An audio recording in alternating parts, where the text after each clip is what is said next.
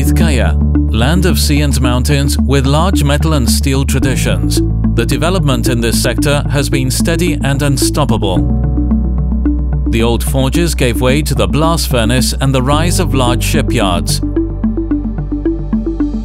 Today, the ecosystem of the industry is made up of companies that manufacture and export high added value components to sectors that require significant quality and safety requirements in an increasingly competitive environment as a result of globalization. But to remain the benchmark that Vizcaya has always been in this sector, we must evolve and integrate the technologies that bring the Industry 4.0.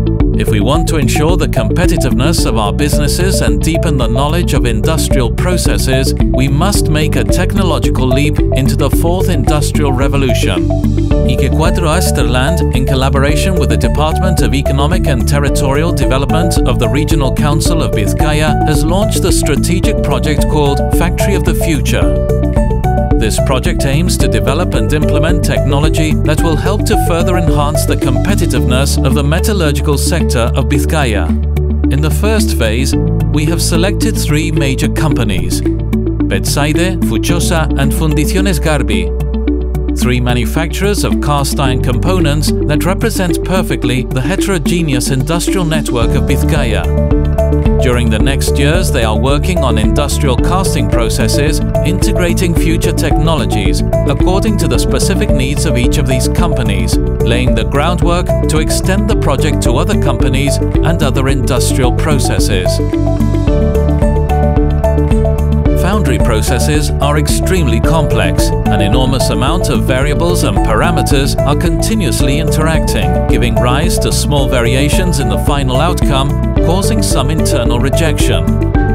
Unitary and very expensive inspection processes are carried out to minimize the rejection rate found by the customers. The levels of quality requirements increase day by day. It is necessary to go deeper into the knowledge that allows the development of more stable processes. Until now it has been necessary to work with robust designs, which results in non-optimized pattern plates that decrease the productivity and the company yield. Another consequence are the bottlenecks generated in the degating area. Much staff is required for tasks without added value, and the continuous progress of the production is interrupted. It forces the implementation of complex and unproductive finishing units. The result result is the loss of floor space and increased costs of internal storage and transport. Sometimes the problem is so great that it involves outsourcing these services. The Factory of the Future project proposes a series of actions to raise the technological level of the foundry processes. We must begin by bringing greater stability to each manufacturing stage Intelligent sensors and predictive control systems are integrated in main manufacturing equipment and process phases. So relevant data are captured, digitized and correlated. All is done in an automatic way. Then, thanks to advanced software tools such as Salomon, obtained information is analyzed in real time to evaluate the process, predict problems and provide corrective action proposals. All the information generated will be distributed throughout the plant efficiently and in real time. In parallel, we will apply advanced design criteria in the pattern plates. The more stable the process, the more adjusted the designs could be. Eidocalc is an advanced software that simulates with higher accuracy the solidification process and allows us to adjust the designs to achieve new limits.